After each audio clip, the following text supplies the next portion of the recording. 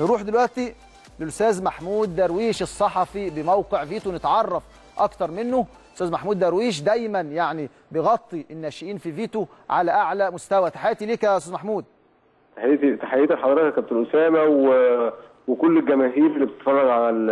على البرنامج الجميل برنامج استاد الأشبال واللي بي... اللي بيلقى الضوء فعلا على مسابقات الناشئين في في كافة أنحاء الجمهورية. ربنا يكرمك قول لي بقى ماذا لديك من جديد.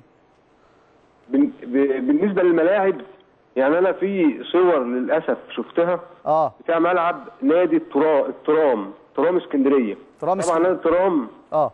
من من أعرق الأندية اللي اللي كانت في الدوري المصري آه، في في في القرن الماضي.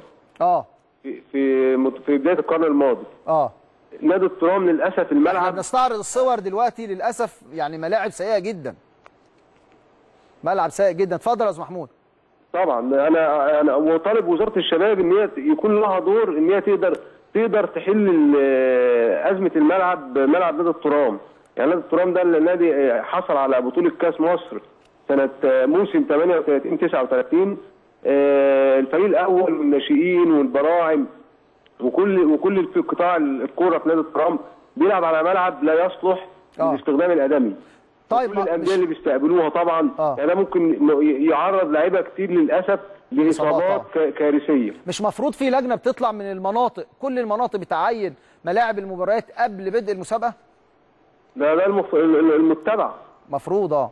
يعني المتابعه بس دلوقتي لو لو لو في أزمة في الملاعب هم المناطق برضو بيبقى في موقف صعب. مثلا عنده بطولات هتبدأ وما عندوش ملاعب اللي هي تقدر تغطي كافة الماتشات. فبيضطروا مثلا يستقبلوا الماتشات. تمام.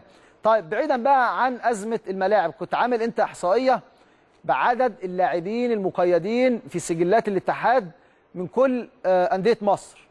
هي هي الإحصائية من اتحاد الكورة على فكرة مش مش أنا يعني أنا آه الإحصائية موجودة أنا في اتحاد الكورة.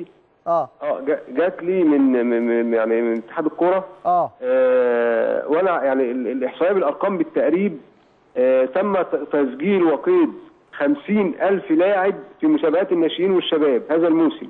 ما شاء الله. 50 ألف لاعب. في في مسابقات البراعم آه، 43 ألف لاعب. آه. آه، منطقة القاهرة طبعا لها نصيب الأسد في موضوع مسابقات الناشئين والبراعم. آه. 19 ألف لاعب. ما شاء يعني الله. منط- منطقة القاهرة في في الناشئين آه، حوالي 10000 لاعب. آه. البراعم حوالي 8300 لاعب. ما شاء طبعا الله. ال- إدارة شؤون اللاعبين بمنطقة القاهرة بكابت- بقياده كابتن ايهاب توفيق آه. آه، بتبذل مجهود كبير في في في, في قيد واستخراج كرنيهات اللاعبين.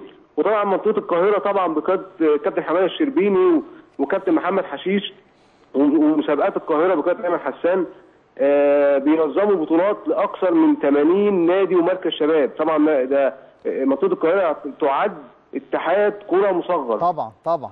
خلي بالك آه، منطقة القاهرة منطقة القاهرة كانت الأول هي مقر اتحاد الكرة المصري زمان. طبعا آه منطقة القاهرة مك- م- اتحاد مصغر يعني آه، طبعا.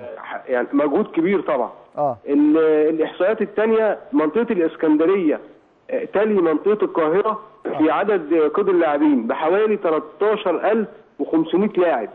آه. منطقة الجيزة ثالث آه، تأتي في المرتبة الثالثة بحوالي 12000 لاعب. ما شاء الله. قاعدة كبيرة جدا من ال- الناشئين والاشبال طبعا طبعا. هي منطقة ال- ال- المناطق واللاعبين. ده ده آه، والمفترض إن قيد قيد اللاعبين مستمر آه، الناشئين والبراعم أول كل شهر حتى 1 يناير لحد 31 يناير. يعني أول كل شهر. يتم قيد فتح باب القيد للناشئين والبراعم. عكس طبعا الفريق في الدوري. الممتاز. آه مظبوط كده. بنشكرك. شكرا جزيلا يا أستاذ محمود على المعلومات القيمة. ما شاء الله عندنا